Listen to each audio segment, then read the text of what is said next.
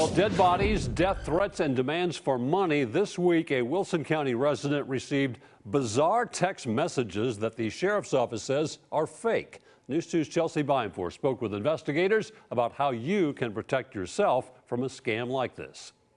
Usually, once a week, we have a report of some type of scam. Wilson County Detective Justin Cagle says the sheriff's office is constantly investigating fraud. But this week, they came across something particularly disturbing. Someone in Wilson County received text messages and pictures threatening their life and demanding cash.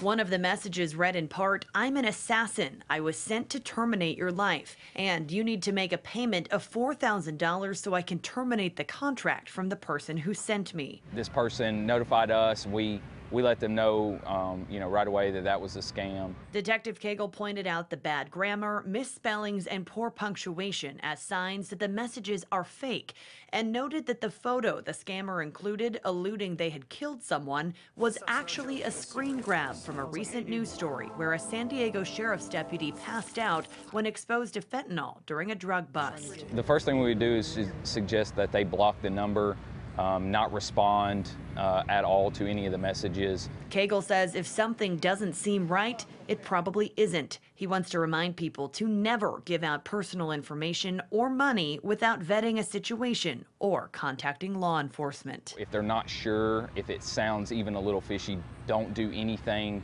Um, ask somebody, contact us. Well, Cagle says elderly people are usually the prime targets and victims of texting scams like this one, and a lot of them originate from overseas. Once someone gets caught, Cagle says they just create a new scenario to see who else they can fool. If it happens to you, report it to local law enforcement.